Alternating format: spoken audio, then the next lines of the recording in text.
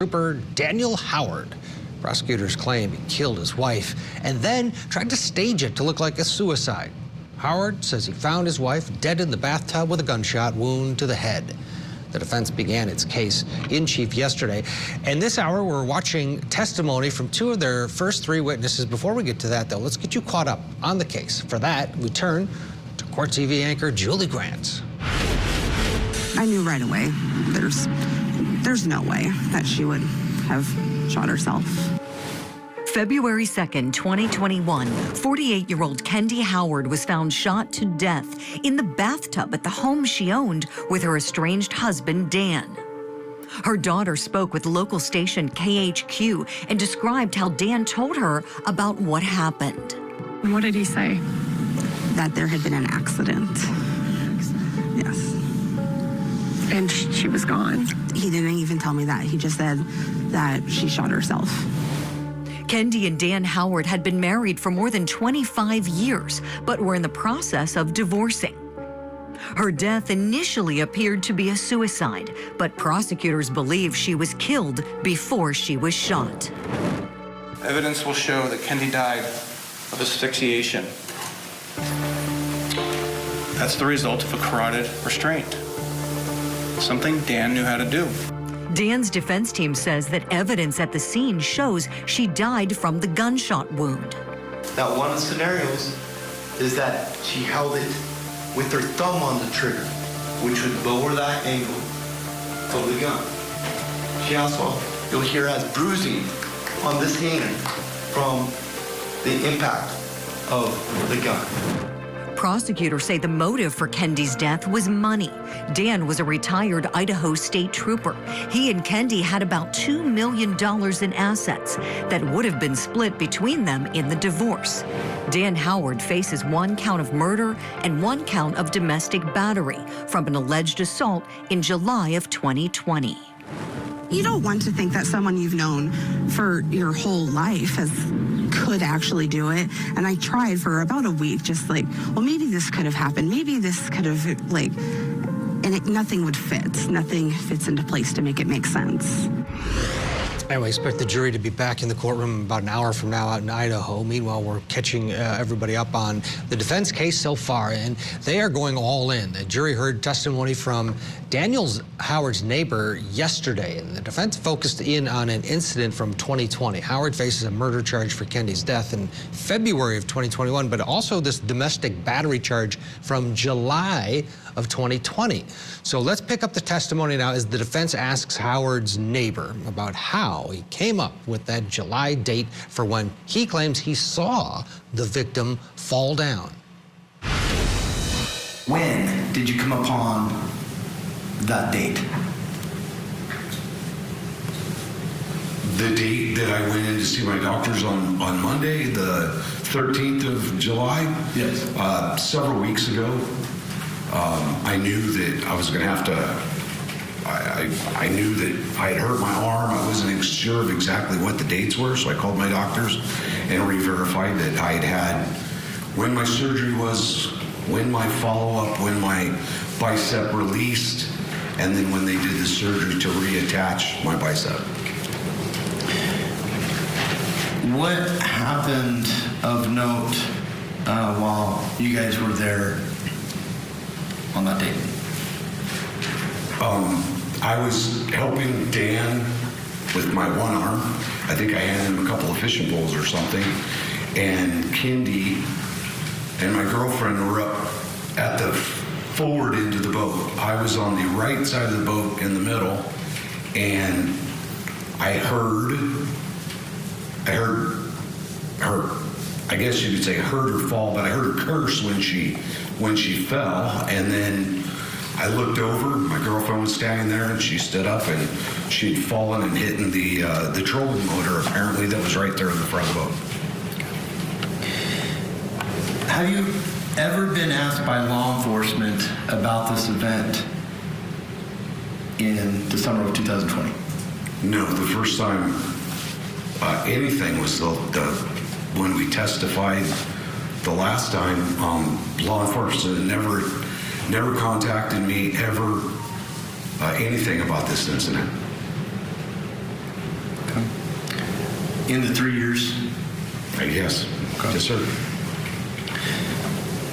Now, is it fair to say, um, well, let me, let me back. How did you learn of Kennedy's passing?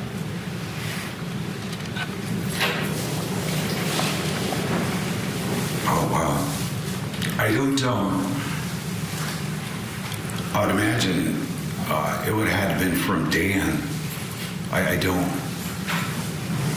I'm I going to remember we were driving. He obviously doesn't know how he learned. We were, Hang on just a second. sorry. Well, Based on the answer, it's speculative, so I'll sustain the objection. How would you describe um, Kendy and Dan's demeanors when they were together, when you spent time together? Well, they've been married for, I think, over 25 years, and they got along fine. I didn't see any, I didn't see anything out of the regular. They, they had fun together. We all enjoyed going out on, and enjoying events, and I didn't. They had a good marriage, as far as I'm concerned. Did you have opportunity to talk to Dan after Kendy passed? Uh, yes, I did. How would you describe his demeanor? Uh, he, he was distraught. He was he was broken. He, I mean, Dan's not the type that usually wears his emotions on his sleeve, and I mean, I've seen him tear up a few times, and he was devastated. Okay, a neighbor on the stand talking about um, he witnessed a fall from Kendy and, and, and believed that that was the source of her injuries back in July of 2020. Um, he'll be cross-examined vigorously in a bit. Let's uh, bring in Franz Borghardt. He's a criminal defense attorney. He's in Baton Rouge. The friendship of this witness Dan and he are pretty tight. He knew Kendy. They all went out. Um, at, right at the end, though, he said Dan was devastated when their marriage collapsed.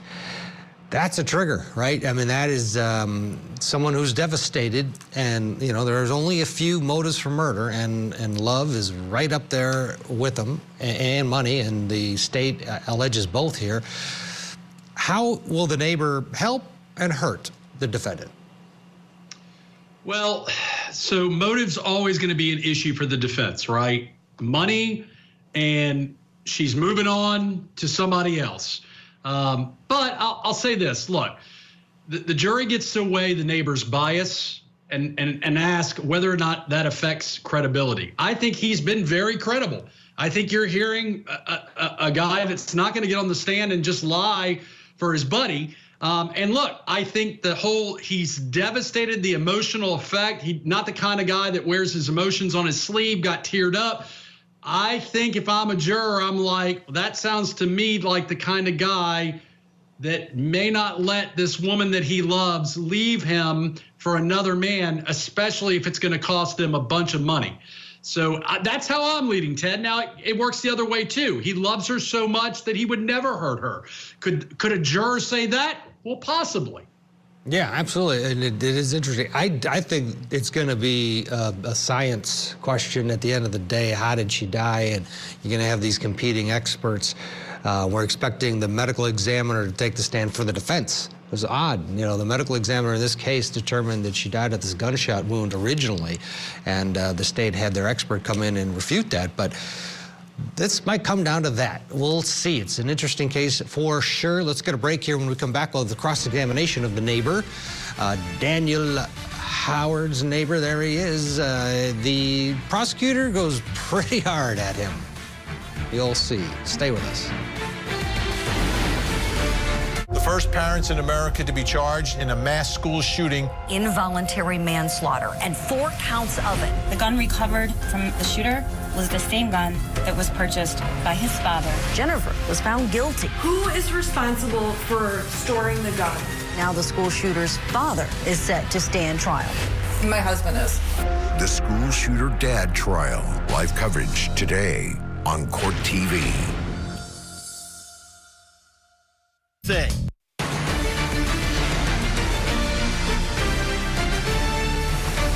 We're on verdict watch for the school shooter dad trial for James Crumbley. The jury has been deliberating now for three and a half hours and counting.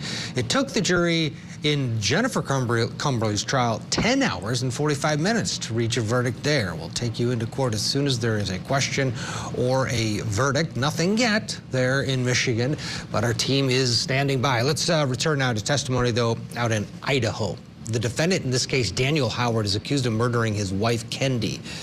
Howard claims that she killed herself. She was found dead in a bathtub in February of 2021. Howard also faces a domestic battery charge for an alleged incident several months before her death back in July of 2020. We're going to pick up the testimony now with cross examination of the couple's neighbor, Brett Gunderson. You and Dan have gotten a lot closer since Kendy's died, haven't you? Um, I, yes. You spend more time with him now? Um, as a neighbor, yes. He's your close friend now, isn't he? He is a friend, yes. He's your close friend now. Yes, he's a close he? friend. Yes, sir. So back to this uh, July 2010 incident that you remember because you hurt your shoulder. And it sounds like you went back and refreshed your memory with some medical documentation. Is that what you're telling us? Well, I knew it was in in June, July, or August, I believe. Um, I knew that my arm was uh, I was having my issue with my arm, and I'd had my surgery, and so it had to be during that that time frame. So all I did was recheck with my doctors when the dates were when I had my surgery. They didn't have the date when my bicep popped out, but they had the the 13th when I went in to get it checked out, and then they had me. I went back into surgery um, because it's the VA. It took eight days for me to get back in, but eight days later I had to reattach my bicep. And that gave you the date of July 10th, that gave me 2020. That gave me the the time frame of when my my arm was hurt and that I couldn't do a whole lot. I couldn't go camping. I couldn't do a lot of these things. And I know that's when this was that this happened. And I and I looked it up and the dates, and yes, that's. And this was at the request of Mr. Johnson. No. This was at the request of whom? This it was on my own. It was. Why are you doing this? Because because I knew I needed to know my dates. I don't want to get up here and perjure myself by giving the wrong dates. Why did you need to know your dates? Because it was, again, when my arm was hurt during that summer, was when I had, when all this stuff happened. There's a lot of other things that, that happened that summer. Um, but during this portion of it, that's when this happened. And why is July 10th of 2020 important? Why did you need to remember it? It's my mother's birthday, and on the 13th was the day that I went in. I had pulled my bicep had detached from the bone and was running along the side of my arm. I get that, but why are you testifying about that in Dan Howard's trial? Because you asked me. No, no, no. What this was brought up by Mr. Johnson. Why? Why are we talking about that? Because it happened around the time frame that Kendy fell and hit her chest on the, the trolling motor. Okay, so this is a attempt on your part to show how she got some injuries back in July of 2020. Is that I'm, accurate? I'm not. Your Honor, miscalculation. You didn't ask the questions. It's a fair question. I'm not attempting to do anything. The prosecution ordered me to come here to testify. Um, I'm here to testify to the truth, of what I saw, and what happened, and that's it. You're, you understand you're testifying for your friend, Dan Howard. Do you understand that? No, I understand. I understand that I was asked to come here by the prosecution. I was told. I wasn't asked, I was told to be here today by the prosecution and to come here, and I'm here to testify to the truth of what I've seen, what I've heard, and what I've been asked. I'm not testifying for either side. How do you know she went down? Because out of my peripheral, I saw movement. I saw movement, and then I heard, I heard whatever it was that I heard, ouch, and, and the F word or whatever it was, and then we went on from there. And How do you know she just didn't dip her head? Because of the follow-on curse words that I heard, that she didn't just dip her head. So you never saw her fall down. You just saw her head dip. Is that accurate? It is accurate to say that I did not physically see her body hit the, hit the front of the boat. Okay, did you see her fall down or not? Yes, out of my peripheral, I saw movement out of my, out of the right side, her dip down and then come back up, cursing, saying, just in front of the boat. And then, I, I mean, it was almost three years ago. I don't remember all the words and everything that was said. Okay, so she dipped down and what part of her body hit what? Could you see that? I couldn't see that part. Okay, so you don't know what she hit or what part of her body hit, whatever it is she hit. Is that accurate? That's accurate. That she was up in the front of the boat, and then she dipped down, hit something, came back up, and ouch, something to that effect, and curse word. Well, when you started us out here, you said that your girlfriend and Kendy were at the front of the boat. Are you talking about in the boat? No. Okay, they were on the ground. Um, or standing on somewhere's on the trailer. There's a big difference there. Do you know which one it was? I believe they were standing on the trailer. I believe my girlfriend was standing, or she could have been standing on the ground. Again, it was out of my peripheral. I'm halfway down the boat. So my view of what they could be standing on, um, I, don't, I, I would have to, I would have to stand there on that boat and look again to see if I could see their feet. I, I don't remember anything about the feet or whose feet were where. Well, it sounds like you don't know where they were standing. Is that accurate? Specifically, no, I don't know where. You don't know if they're on the ground or on the trailer, right? From my vantage view, yes. And you don't know what Candy hit, if she hit anything, or what part of her body hit, if it hit anything. Is that accurate? Yes, that is accurate, but there was the boat motor up there was the only thing that was logical. She either hit the boat motor or the front of the boat. I don't know. She hit something and then she came back up again. How, how did she hit the boat motor if she was on her feet in front of the boat?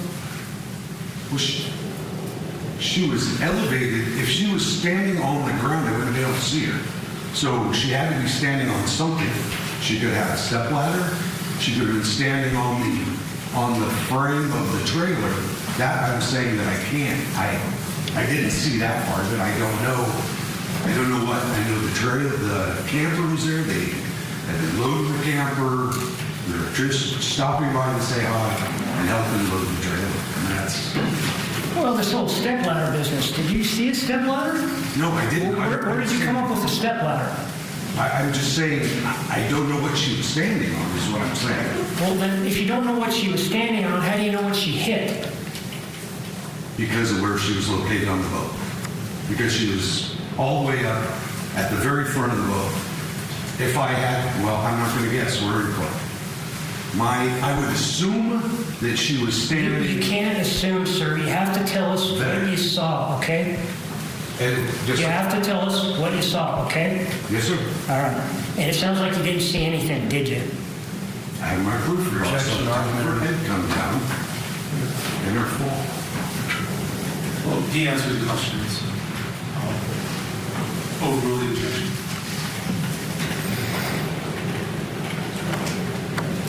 You don't know whether she injured herself or not, do you? Um, she, she always bruised really easy. She got some bruise. Did you hear the question, sir? Say, would you? You don't know whether she injured herself or not, do you? I know she ended up with a bruise from that because she talked about it with my girlfriend and they went on a trip and she was. Do you not understand the question, sir? You didn't see her injure herself, did you? I, I'm, I'm guessing. You can't guess. Is that I can't say that I definitely saw her injure herself. Well, you just got done telling us you didn't see anything. Do you remember that?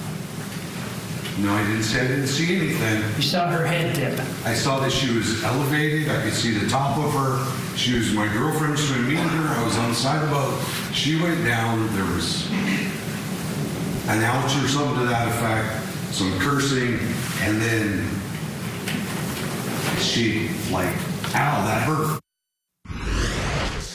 Uh, that was basically the end of the uh, cross-examination of the neighbor there. Let's talk to Franz Borghardt again. Uh, He's in Baton Rouge. Um, Cross, the prosecutor was was clear that uh, he didn't believe him, and uh, trying to get that across to the jury. You're here for your buddy, and you've been hanging out ever since um, she died. Uh, your thoughts? So I didn't think it was a great cross, actually, Ted. Um, I think a aggressive, or- prosecutor, too aggressive. I think you could, you can go with a soft cross on this guy and, and be just effect, as effective. And what's worse is the witness testified clearly that he is actually there because of the prosecution not because of the defense, not because of his buddy. He was told that he had to be there by the prosecution. That to me is a harpoon, a harpoon in the whale of the prosecution's case. harpoon. Let's uh, fast forward here to the what we expect to take place in about half an hour from now when the court is back live. The defense bringing on the medical examiner that did the autopsy and and had the initial cause of death as suicide.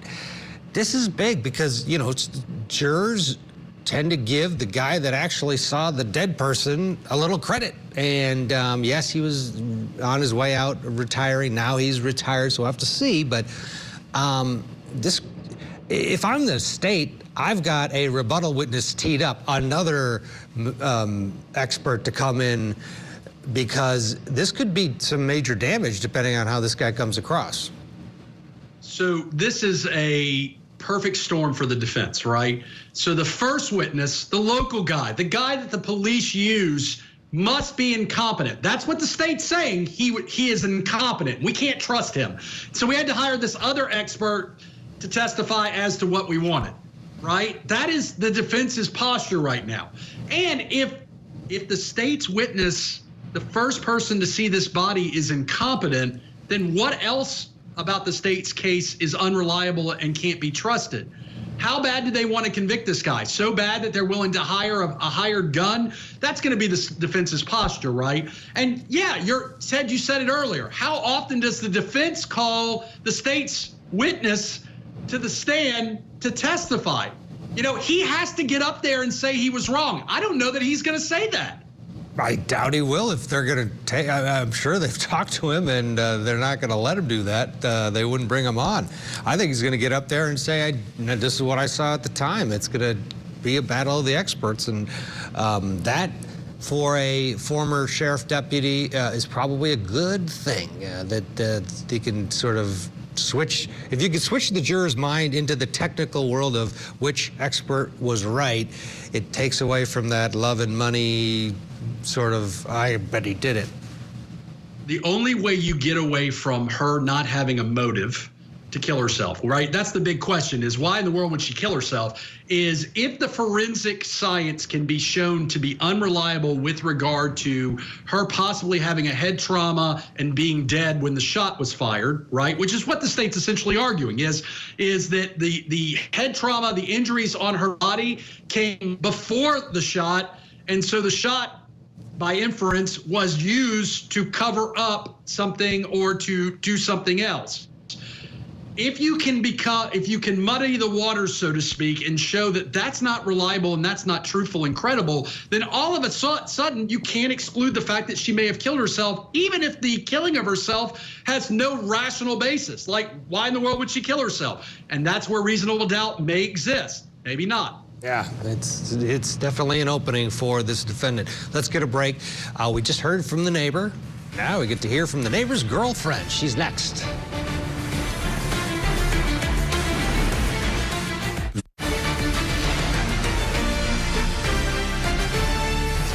Back to Court TV Live. We're watching that uh, deliberations clock tick away in the corner of your screen. The jury in Michigan is deliberating the fate of school shooter dad James Crumbley, and they have been at it now almost four hours.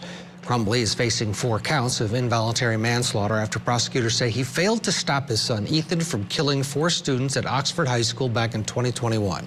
His wife Jennifer was convicted earlier this year of the same charges. As soon as we have any movement in the courtroom, we will take you there live. Meanwhile, back to Idaho, where we've been watching this testimony in the defense's case in the jealous ex-trooper murder trial. The defendant in this one, Daniel Howard. Up next on the stand, Carrie Maitland. This is testimony from yesterday. We're waiting for the jury to report back in about half an hour from now in Idaho. Uh, this was yesterday. She's Brett Gunderson's girlfriend, the guy that was just, uh, we were just watching testimony from. They lived near the Howards for 20 years, knew him very well. She testified about her relationship with Kendy and about the moment that Kendy told her about her affair. So back in the summer of uh, 2020, did you ever um, see uh, Dan and Kendy in their shop area? Yes, yes. And can you explain?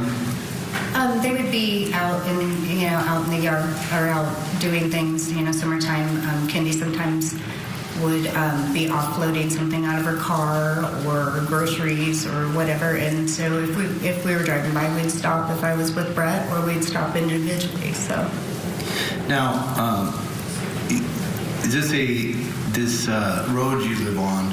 Is this a um, dead end road or a major it's a road? private road with a cul-de-sac at the end. Yes, And how many residents live in that? there's nine homes. Okay. In the summer of 2020, was there anything that you observed between that involved the boat? Yes. Can you explain? Um, Brett and I were headed out. We saw um, the camper and the, and the boat out and them out as well. And so we swung in um, really quick, just to, just like neighbors do. And um, we came, we pulled in, we got out. Um, was, she had a, a basket or a crate or whatever. I don't, I can't even describe it. And put it up into the camper and slammed the camper door shut. She was kind of in a, can I say pissy mood? Um, she she wasn't exactly happy. So I was like, hey, you know what you doing? And just you know trying to distract her a little bit that way. And um, she had something down here on the ground, and she had something up here on the boat, um, on the front of the boat. Brett went back, of course, and talked to Dan because that's just that's what we did. We divided, you know, male, male, female, female, and um, when we went our separate ways, I was kind of standing towards the front of the boat with Kendy right there, and she was, like I said, she was grumpy and she was at the front of the boat and she was reaching out with this. It wasn't a large thing, but it was, she was reaching out with it and she slipped and she fell and she fell down like boom, like that. There was a lot of foul language that was involved, like "Oh, that hurt, you know, those kind of things. And um, I was like, oh my God, Kimmy, are you okay? You know, and then she's like, yeah, I'm fine. And that was kind of the end of it. Um, were you ever asked by law enforcement about uh, that event? No. Was there ever a time that uh, Kendy uh, discussed uh, her affair with you? Yes. Uh, when was that? That was end of September, first part of October. And if you can go ahead and pull up like a little bit closer. I'm sorry. It- it- can you say that again? When was it? In the end of September, first part of October. Okay. Um, did she tell you who, who it was with? She did not say a name. She just said that it was someone from that she's known for a while. And where did this conversation take place? On my back deck. What were you guys doing? We were just drinking and talking, and um, she was excited about getting a costume for a Halloween party, and it led to her telling me about Can you describe in general um, the um, her demeanor throughout the course of that conversation? started out jovial. We were just hanging out. We were being good friends. And then, um, as the conversation proceeded, she became uncontrollable. She got angry. And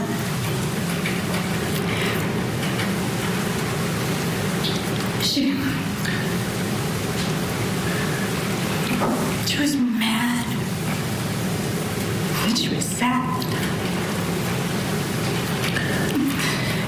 And it just, as she was spiraling, Did her demeanor cause you? Um, let me rephrase that. Did you ever discuss your observations with anyone? No. Do you regret that? Just your relevance as to what she might regret or not regret. Sustained.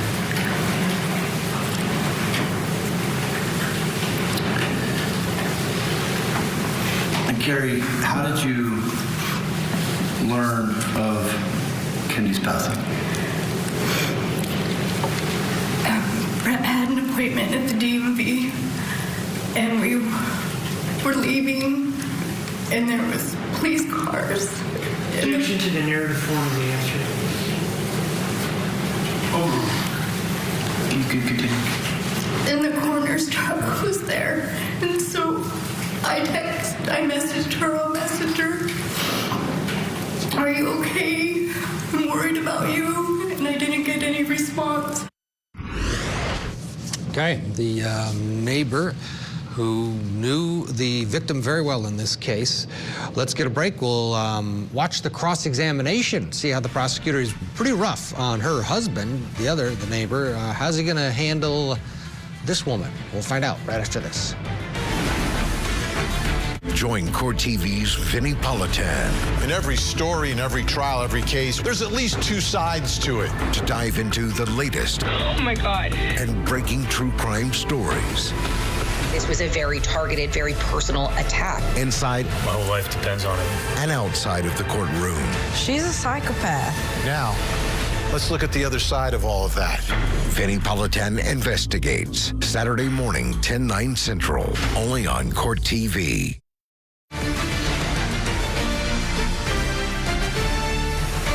We are continuing to keep our eyes on the deliberations clock in Michigan, where a jury has been deliberating now for over four hours in the school shooter dad trial. Prosecutors allege that James Crumbley did not take the necessary steps to prevent his son Ethan from killing four students at Oxford High School back in 2021. We'll continue to monitor the courtroom there. Once we see any movement, we will go there live if there's a question and, of course, if there's a verdict. In Idaho, we are expecting testimony to resume at the top of the hour. We've been watching testimony from the defense case in the jealous ex trooper murder trial for defendant Daniel Howard. The state had a chance to cross examine Carrie Maitland about her relationship with Kendy and about their conversation in the final days before Kendy's death. Where did she fall on? She fell right here in this area. That's, pointing that's a to- trolling motor that's right there, You, uh, okay, hang on. So, and pedal. so you're pointing to the trolling motor at the bow of the boat, right? Yes, she fell on the bow of the boat. And she was lifting this container of whatever it was to the left of that motor, right? She was right here, and she was lifting up, and she fell. And she caught herself on her arm, like you do when you're scared of falling. You grab out, and she caught herself. So did she set the container to the left of the motor?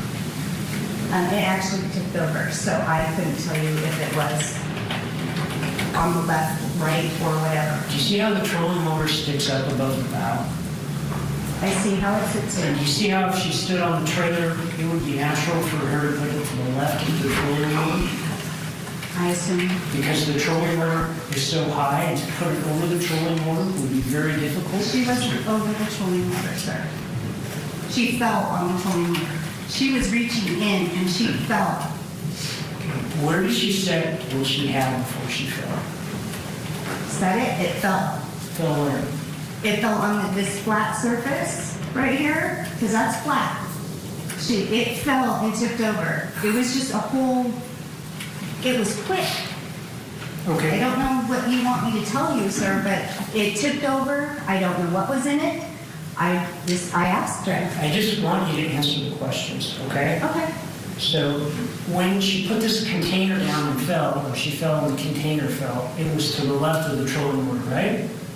I assume so, sir. Well, you saw it happen, didn't you? Yeah, I I assume the basket ended up, you know, to the left of it. It was in the middle of the thing, so Well- I can't say left or right. Okay, well, the problem is we- have to know what you saw and we can't rely on what you assume. So did you Okay. see her put it to the left of the trolling motor? or Yeah, not? it would be to the left because if she went to the right, it would have not been in the boat. Ah.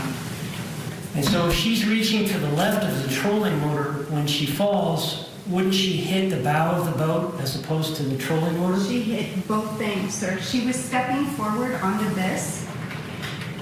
This is why her foot slipped. She was stepping forward. She had, I'm not doing it in my dress. She had her foot here, and she was reaching to put that up because she was gonna get down. I'm assuming, because I didn't ask her, but there's another bucket right here of other things that needed to go up in the boat so that when she was up in the boat, she could just offload everything that she needed. Do you remember what the question was? No, sir. Wouldn't it be more realistic and logical for her to hit the bow of the boat as opposed to the trolling motor if what she's setting down is to the left of the trolling motor? In your opinion, sir, I no No, I'm asking. I'm asking your opinion, now. Wouldn't that be more logical and realistic? No, not in the situation that I witnessed. And so after she, well, did she hit both the trolling motor and the bow of the boat or just the trolling motor? She hit, she hit like this. She came down and she caught herself. I, she probably here, she probably has a bruise on the elbow too, um, the way she came down. Because she was stepping forward here, this foot slipped out and she just came down. Okay. And she just came down there. Right here at the bow of the boat. So the point of the boat's here with the trolling motor over here. She fell right in this area. Her foot slipped. It actually slipped out this direction and she came down. I get that, I'm just trying to figure out when she fell on the trolling motor or the bow of the boat. Counsel, I'm going to interject. Just, do you have a sense of, I I was letting you go because I thought you were near the end, but we're after 5 o'clock. Do you, should we continue with cross-examination tomorrow? I don't think I have much more to go, Judge. If you want to wait another five minutes? Is that doable? Okay, all right, let's finish it up. Trolling motor, bow of the boat, where'd she fall? She fell and hit the bow of the boat and the trolling motor, sir. I'm, I don't know what else I can tell you.